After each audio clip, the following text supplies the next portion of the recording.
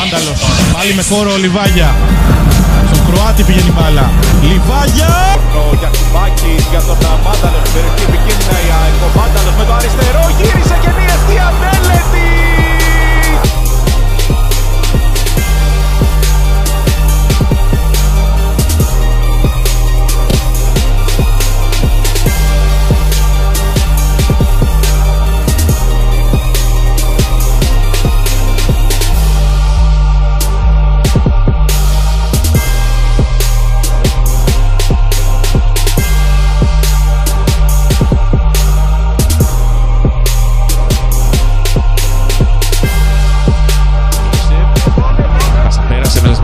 Μάνταλος την κρατάει, τη γυρίζει, ευκαιρία, γκολ, δεύτερο για την ΑΕΚ.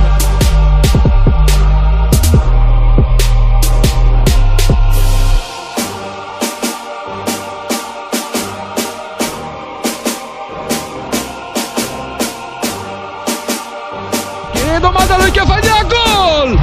Στο αριστερό γάμα!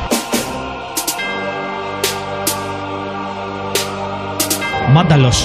Ωραία ενέργεια. Πήρε θέση στην περιοχή ο Λιβάγια. 1-0.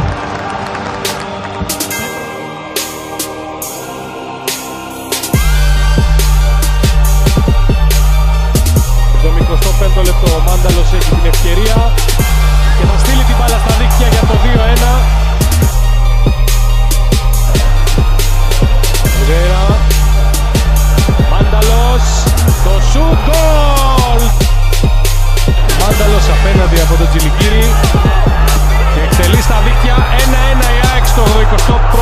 Λεπτό.